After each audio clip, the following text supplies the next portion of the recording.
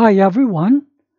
Today we're going to study Hamilton path and circuit. Let's define Hamilton path. A path in a graph G. A path means no repeated edge that passes through every vertex exactly once is called Hamilton path. Let's define Hamilton circuit. A circuit in a graph G. That means no repeated edge and starts and ends on same vertex. That passes through every vertex exactly once is called Hamilton circuit. Example 1.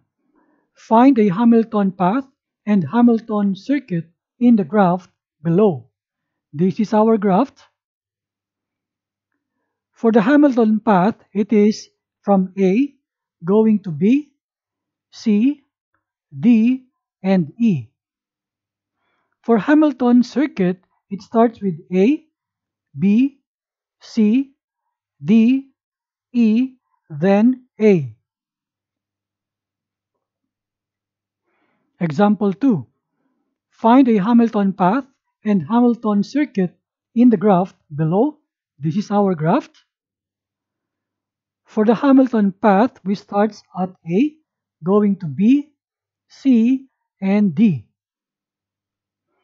For Hamilton circuit, there is none.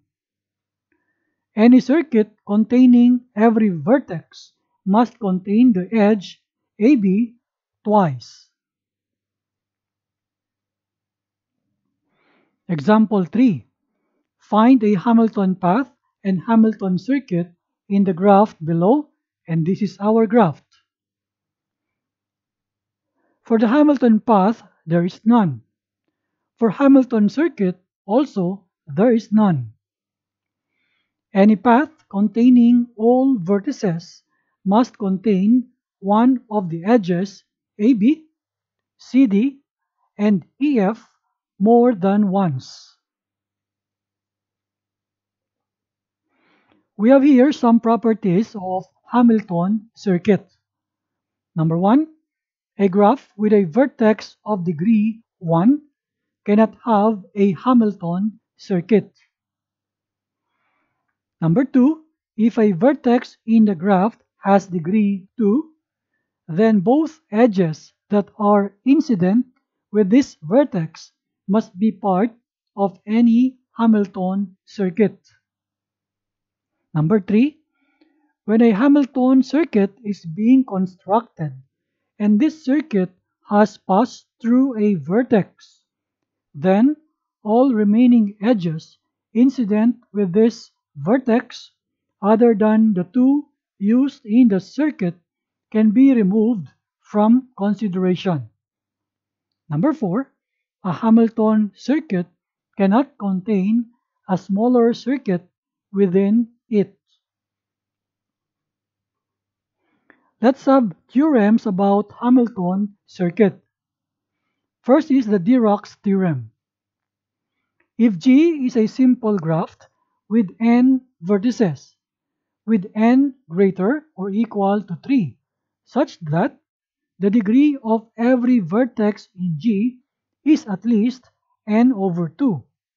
Then G has a Hamilton circuit. Next is Ore's theorem. If G is a simple graph with n vertices with n greater or equal to 3 such that degree of u plus degree of v is greater than or equal to n for every pair of non-adjacent vertices u and v in G. Then G has a Hamilton circuit.